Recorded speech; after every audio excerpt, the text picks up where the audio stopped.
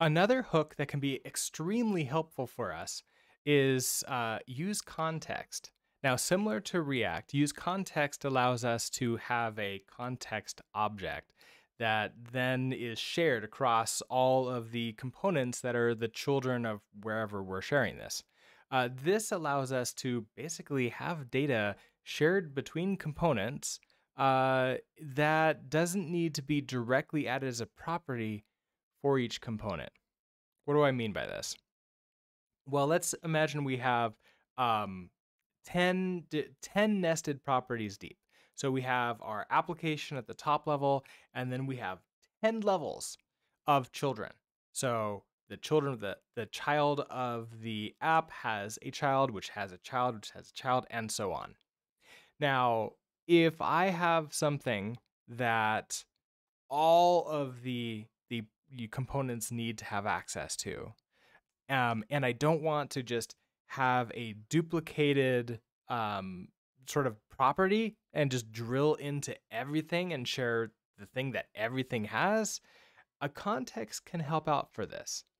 And this is really what they're meant for, is something that everything can have access to. Because once you give a context, access to a context, you can't like just say, oh, oh, you have access to that and you don't have access to that.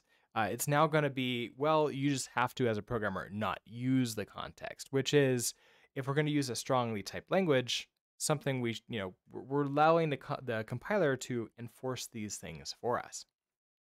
Anyways, that's a brief, brief, brief reintroduction to what a context is. Uh, let's go find documentation for where it lives. So in Yew, uh, I'm going to come down here, and there's a couple places. So in concepts, there's the context uh, page. Now, if we're on 0.19, context is uh, talking about the struct style of components, which we're going to get into a little bit later. Um, however, it does talk about what a context is and in very general how to create the context, which is uh, which is going to be important. Uh, then in function components, we have the predefined hooks. And this down at the bottom, we have the use context. Uh, and so there's the example here of how we're going to set this up. So specifically out of this, we're looking at creating a struct that is the context. That's the data that we're going to be passing into the context. Uh, we have to use this use con uh, this context provider tag, uh, this component, which is at the base root level of Yew. This is not included in the prelude, so we will need to bring it out ourselves. Uh, if we go back to the main context page, uh, something really important. Let's see, where is it? Right here. Um, if you're using a context and you mutate that context, which you can only do at the, the root level where the context is created, then all of the children will be re-rendered. Um, this this is important because if not everyone is using that context, that could be really expensive and can cause maybe think like maybe a flicker or something if you if everything has to re-render all at the same time. So I would be careful, like once again, use context for things that everything needs access to, or make it really small context that don't change very often. All right, well, let's jump into the code and actually create our own context. Um, I have an idea of using this custom form that we previously created. So if we go and take a look at oh, what this form looks like, we had our username, our favorite language, and this submit tag. Okay, that's fine. What if I wanted to, after we submitted this, um, username and favorite language is now just available to all of our components and they can then print that out if they want to or do do certain things. Um, so first of all, in our type library, let's bring in context. I'm going to rearrange this just a little bit. I like to have mod at the top. Okay, so we're going to use yew uh, context provider here. Um, we're going to update this div to be a context provider. Um, the close one and the top one, we still need to do a type for this. So we still need to say what type this is going to be. Well, we haven't created our context yet. So let's do that next. So let's maybe use like a um uh like just like a user, like user user information. So we'll do a pub struct uh user. Um, we're gonna have a username, which is a string, and a favorite uh, language, which is a string. Um, we also are to need to make these public so they can be read and accessed.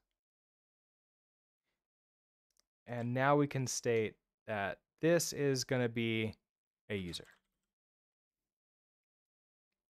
Um, now what we can do is just create a user. So let's do a let user equals user. Okay, so our username, let's just do um, to owned and favorite language is going to be Rust.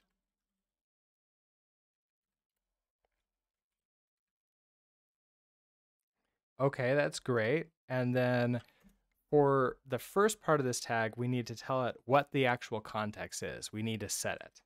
So context. Um, and in this case, we're just going to set it to be this user. Uh, what are you upset about? Okay, so it's upsetting about that we need, a uh, user needs to implement clone and partial equal. So let's go ahead and derive that right now. So debug is perfectly fine. Also, I've been ignoring it for most of these, but uh, it's perfectly okay to set all of these things to debug. Uh, partial, equal, and clone. So now you're happy. Um, and and this first pass through that we're doing is going to be an immutable context. There is no way for us to change this once things are going, as you can see, because when we when we submit the form, that's not creating this user. It can't update the user. We just don't have access to it. But we're going to get to that in a little bit. Let's first uh, use this and um, consume the context, as it were. So we have this state. We can now have access to a use context.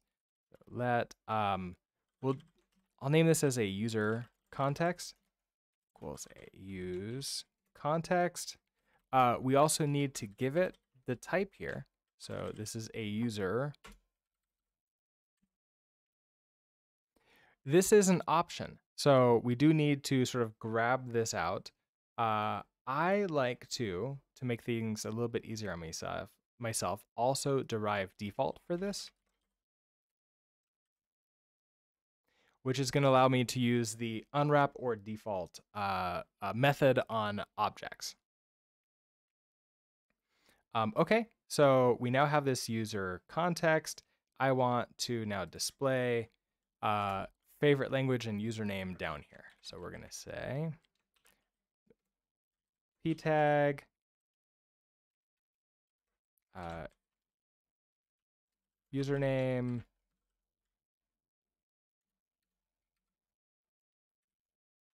and this is going to be our user context. It's an option, so we're going to unwrap or default. Um, and then I can access the username.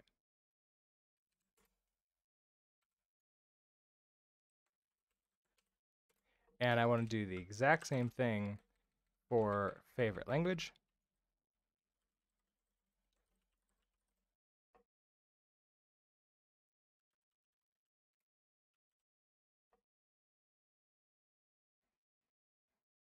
Okay, where is that error? Here it is. Um, you are upset because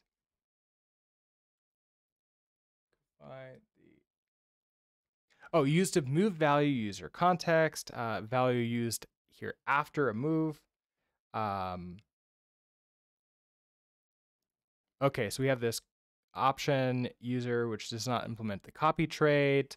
Uh, so I want to clone you. Uh, I might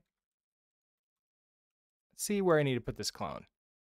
Right here. So we're going to clone the option and then use that here and then use the option again here. And then when you clone the option, it clones the contents of that option to it. Basically just reruns clone on everything inside. Okay, so that should display these. Let's save. Uh, everything is looking good. Let's go take a look at what we have here.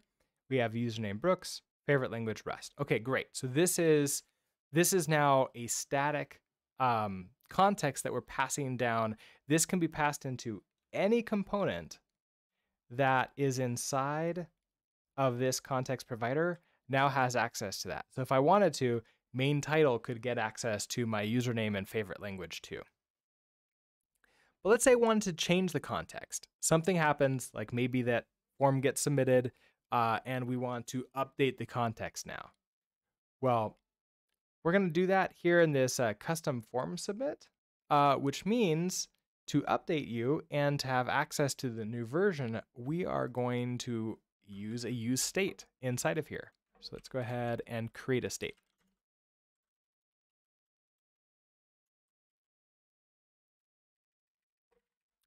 So we'll do use state. Uh, for a init function, we're going to create a, I'm just going to do the user default. So it'll start empty.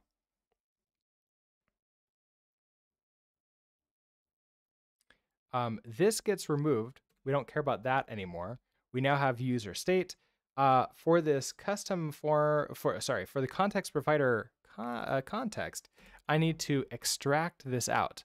So we need to take the user state, but this is a useState handler, so I need to deref that.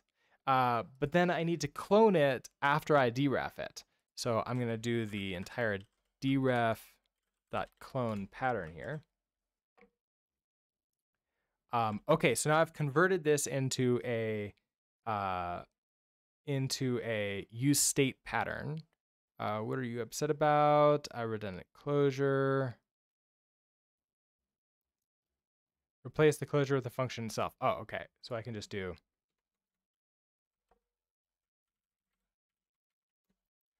just do that. Passing in the default function to be used later. If you're if you're familiar with JavaScript, this is very similar to just leaving off the parentheses in a JavaScript function and just passing in that as a closure or callback.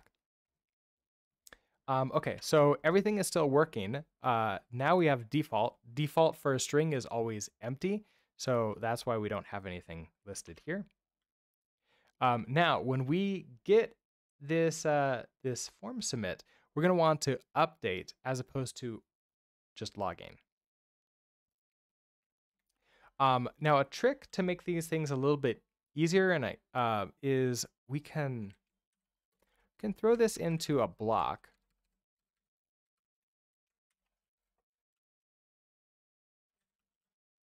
Um, and then we can do our clone of the user state in this block. As soon as this block ends, that clone will be dropped and we're sort of like creating a little bit of a scope for ourselves. So we can do a let uh, user state. I'm going to shadow user state here. And we're just going to clone it. Uh, and the, the, the main reason to do a block like this would be to basically encapsulate this this clone into a shadow uh, inside of a, a, singular block that we can then later on fold down and makes it a little bit easier to read. Also, we can use the same name instead of constantly doing like clone user state uh, and then shadowing that over and over and over again. All right, so I have this user state here. It's unique and different than that one, even though it's cloned. We're going to move that into here. Um, we're not going to log anymore. We have access to this data. So now we're going to say, I want, uh, we need to get the user out. So that mute user. equals, we're going to take our user state. Um, we're going to do the deref dot clone trick. Um, now we have access to the user, so we can do user dot username. It's going to be equal to data dot username. User dot favorite language equals data dot favorite language. And then we have to remember that the entire point of this is to get a callback. So I'm going to remove the parentheses from this uh, this entire callback, so that way it gets returned into custom form submit, then gets passed into this on submit. Otherwise, you're going to get a very interesting error where you're basically trying to pass nothing in for this callback. All right, everything seems to be working. So let's go ahead. Oh, you know what? We've forgotten one other thing, which is going to be kind of important. After we've mutated user, we need to reset it to the, the state. So we're going to do a user state dot set uh, user. That should trigger when this is updated a refresh of this HTML because state has changed, uh, which then causes context provider to realize that state has changed, which then will cause a refresh of all of these children components. Let's try it out. So if I type in Brooks and Rust, hit return, and they get set for us. So now we have a context uh, that we can update if necessary, um, and that is shared between every component that's a child of the root component. Uh, so once again, uh, just a warning that you probably don't want to use context unless it's really for something that's shared on everything or it doesn't change very often. Uh, mainly just because of those recompilation rules. You don't want it to, I guess recompilation is wrong, re render rules. You don't want it to re render just needlessly. For example, this hi there got re rendered even though it doesn't care about username or favorite language perhaps properties would have been better in this specific example. But uh, um, I could definitely see at times where like maybe having a user and like a token and knowing that it's logged in or not could be something that goes into a context. Plus, that doesn't change very often. Anyways, hopefully that was very helpful for you. Um, thank you very much, and uh, I will see you in the next video. Bye.